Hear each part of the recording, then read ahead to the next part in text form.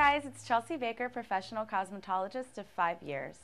Today I'm going to show you some set in style retro beauty basics. Let's get started. So for retro makeup, you're definitely going to want some red lipstick. It was very popular. Some very bold red lipstick. The darker the better, the brighter the better. And apply that all over. Be nice and generous.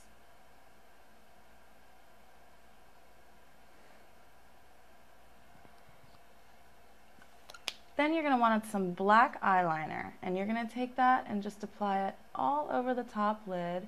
A very popular look for retro makeup was what I like to call cat eyes. And that's where you take your eyeliner once you get to the end and pull it out and up from the eye toward the eyebrow. It adds a nice almond shape, almost like a cat eye. It's very popular with retro makeup. Nice and thick. And there you go. There's some set in style retro beauty basics. If you have any more beauty questions, feel free to ask. See you next time.